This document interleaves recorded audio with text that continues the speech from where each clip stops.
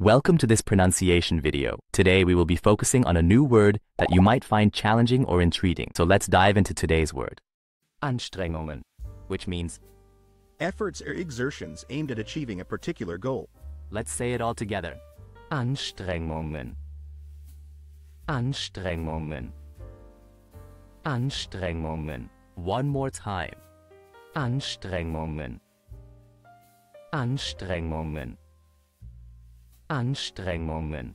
Thank you for joining us on this adventure in pronunciation. Remember, language is a journey, not a destination. Keep exploring, experimenting, and expanding your linguistic horizons. We'll see you next time.